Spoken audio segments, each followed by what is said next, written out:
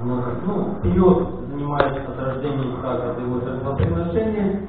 Рассказывается о том, что Авраам сидел, его посетили ангелы, он их там пригласил, потом они сказали, что они собираются уничтожить Содом и Гамору.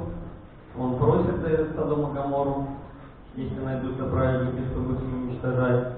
А в дальнейшем ангелы выводят Лота из этих городов.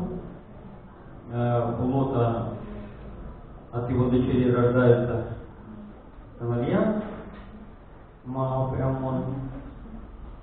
А в дальнейшем рождается Ицхак и отсылает Сара своего, свою служанку с Ишмаилем, сыном, и потом в конце уже дается Аврааму, как говорится, считается последнее такое испытание, десятое, где он должен принести в жертву своего сына Ицхака.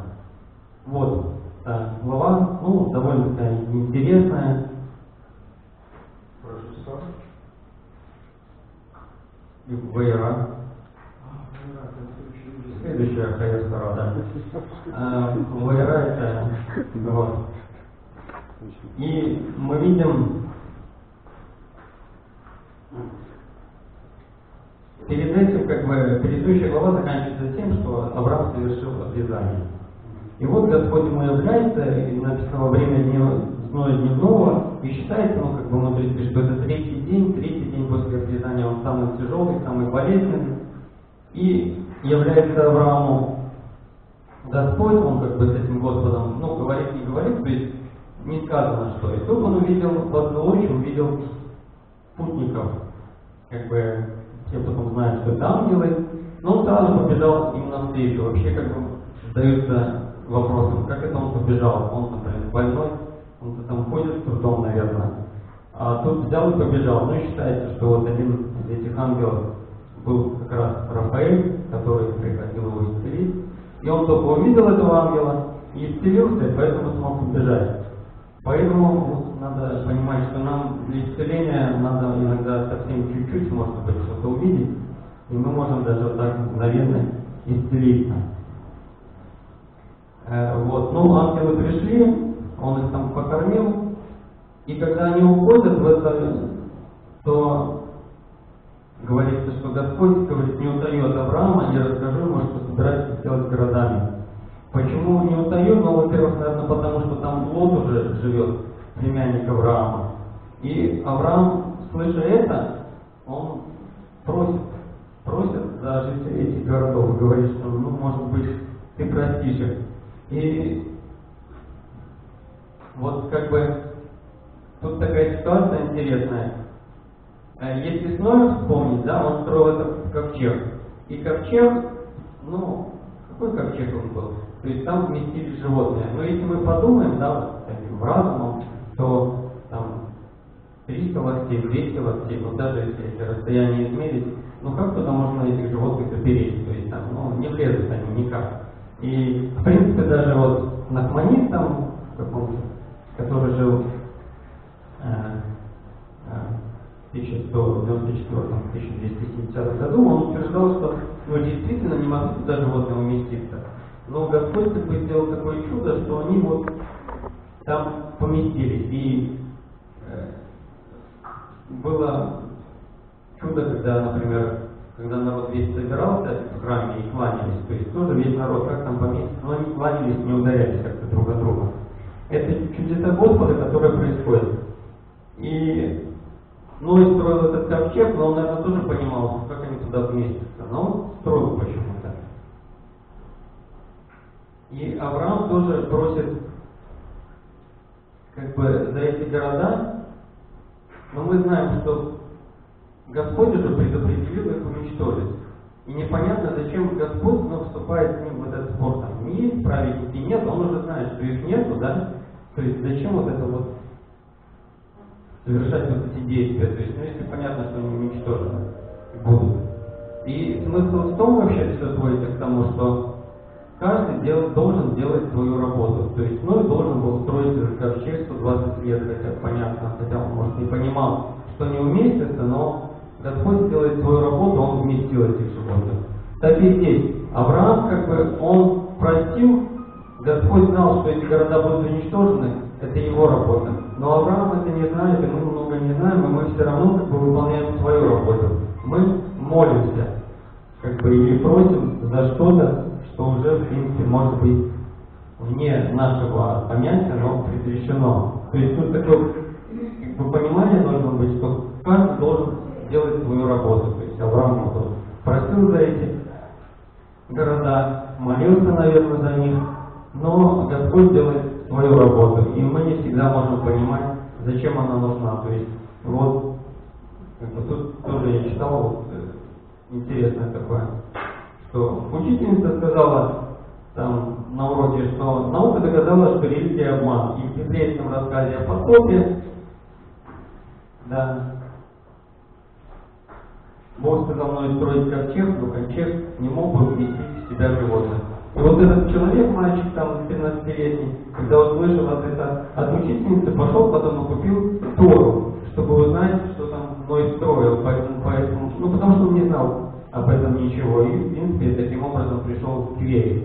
То есть мы не знаем иногда, как что повернется, то есть мы думаем, что это может быть что-то плохое, а оно может повернуться к хорошему. Но надо понимать, что каждый должен делать свою работу. Даже вот предыдущая глава, она там рассказывает о том, что Авраам жил там, вот, обрезание сделал вместе, Мамре называется. Да? Почему он так называется? Потому что там ну, жил человек, которого так звали. А почему он так ну, вот это упоминается в Библии? Говорится о том, что как бы он дал совет Аврааму, как сделать это обрезание. Потому что Авраам всех обрезал, да, и ну, обрезание всегда делается кто другой, там, Маэль, да. А он дал совет простой довольно, что говорит, ну если не найдется, кто тебе сделает это обрезание, сделай его сам. И вот его имя тоже осталось навсегда. Хотя сделал, ну, дал совет. То есть мы должны понимать, что тоже должны давать советы, если у нас есть понимание какой-то ситуации. И может быть и наше имя где-нибудь запечатлится. И в дальнейшем, э, когда выводят ангелы Лота и его семью, они говорят не оборачиваться, да? И мы знаем, жена Лота обернулась и стала как соляной стол. Ну и э, есть тоже такой вот, ну, не майся, это там, случай Крэбе пришел его ученик и говорит, ну, как ученик, ну, он бизнесом занимался, и дела пошли что-то плохо, весь в кредитах, никак ничего не получается, он говорит, не знаю, что сделать, он говорит, ну, запрыгни ко мне на стол. Ну, тот, ну, что, Рэбе говорит, надо сделать. Ну, отступил на пару шагов, ну и запрыгнул. Он говорит, ну, что ты, что ты сделал? Ну, как, вот, вот запрыгнул. Он говорит, нет, что ты сделал перед этим? Он говорит, ну, ну, вот, да, дошел потом, разогнался, прыгнул. Он говорит, видишь, как бы надо забыть то, что было сзади, ну, как бы, вот, не смотреть на то, что сзади вот так вот, а все-таки делать какие-то шаги вперед.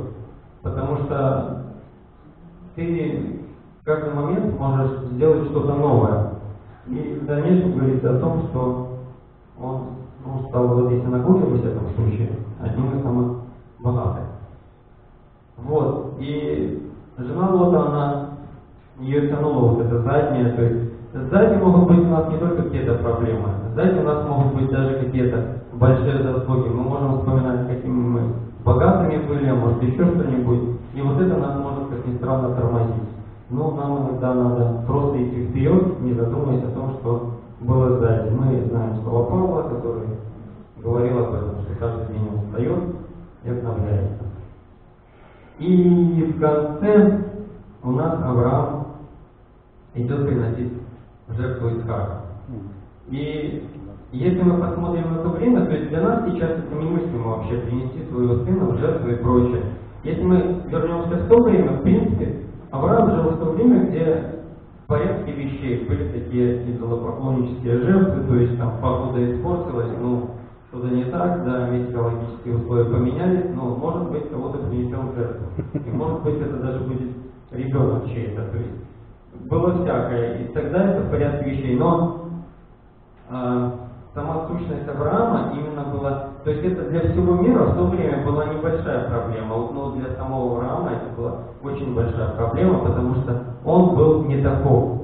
У него сущность была, мы знаем, сущность Авраама это хесед, милосердие, то есть он был ну, совсем другой, то есть для него сделать такие поступки, это переступить через себя. И вот это жертвоприношение, как бы Исхака, это не столько даже жертвоприношение для самого Исхака, как это какое-то вот такое самоотвержение для Авраама. То есть он должен был полностью сюда, как бы вот есть такое понятие в еврейской традиции называется битун, самоаннуляция перед Богом, то есть он должен был себя ну, как бы аннулировать, переступить и проявить те качества, которых в нем не было. То есть вот это качество э, называется вот, бура, суровость, и чтобы как бы именно вот, довести вот это, то, что Господь ему сказал, до завершения. То есть он вполне был готов, мы знаем, убить своего сына, но Господь нашел ему другую жертву. И вот нам надо тоже иногда как бы делать как Авраам. Во-первых, он, например, тоже как бы вот немножко перешагнул через себя, когда заговорил с Господом перед... Ну, Господь ему сказал про Амора и это, что они будут уничтожены. Но он почему-то не согласился с Господом, а начал, скажем, вообще приступил к нему, то есть он даже так жестко поступил, стал у него требовать, чтобы эти города, можно сказать, остались. И здесь мы видим, что иногда надо иногда переступать через себя и делать какие-то вещи, может быть, нам не свойственные, но это будет, может быть, нам. Вот об этом эта глава. Шаббат шалом.